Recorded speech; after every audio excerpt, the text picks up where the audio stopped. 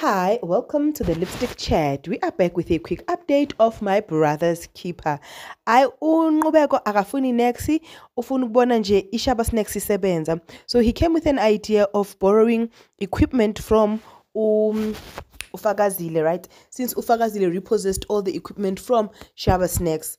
Now, that idea seemed like a working idea to everyone when Unqubeko pitched it, and even Ufakazile agreed to it, but on the condition that Umshengu is the one that comes and begs, right? However, ke, Unqubeko takes the idea to pitch to Umshengu, which will be able to assist them to make sure that they deliver to their clients on time. Umshengu rejected the offer because the offer had Fakazile in it. Hayi ke kube umkadonga likamavuso ukhathazile ukhathazile ahambe ke finally ayotshela unomusa ukuthi udonga unemali eh unomusa aqabanga ukuthi makakhuluma kaso ukhuluma nge-800,000 athi no correction my lady.